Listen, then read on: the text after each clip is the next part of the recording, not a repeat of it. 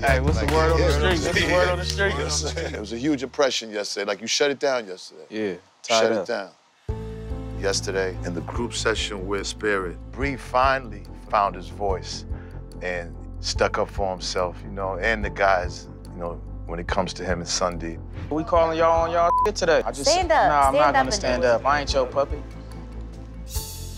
And, you know, of course, he's under pressure because he got these two other relationships and she wants him to get rid of him, but he finally came with his voice. And I think he evened the score for the guys right now. She was not expecting what you did yesterday. Yeah. Yeah. We Thank stood you. up. Yeah. We got vulnerable. Yeah. You know what I'm saying? every We listened. Yeah. For the most part, Sunny's, you know, she's real tough at all times. So just to see her in a state where she was vulnerable and she showed emotion, real emotion, it made me feel good.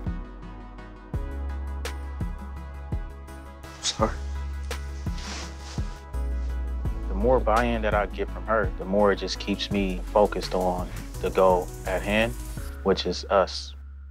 You know, we got to keep the eye got to be on the prize. Everything has to be transparent, and y'all got to know what she wants, and what you want, and you got to make sure whatever she wants that you're with that. Right. You know, so you got to think two steps ahead.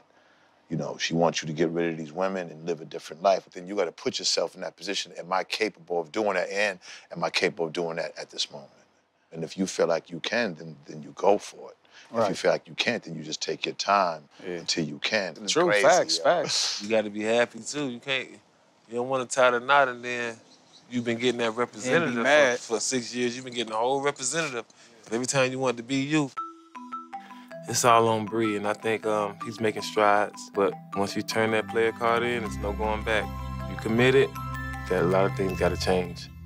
I just think it's gonna be, you know, what, what we have to do right for them. It's always that give and take, you know? We just open our eyes up for the bigger picture, man. Like Althea doesn't want to take no shorts.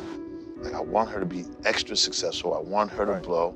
I just the stuff that happened happened with us, I can forget about it, but you gotta leave me alone. You cannot keep bashing me.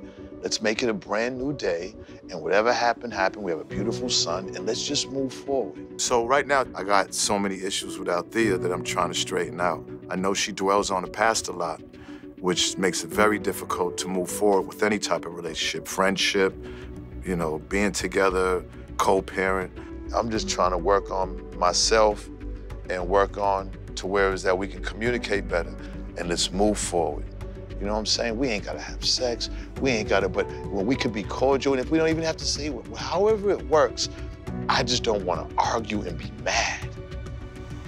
If everybody had that same positive energy and vibe, Right. it'd Man, be a good world.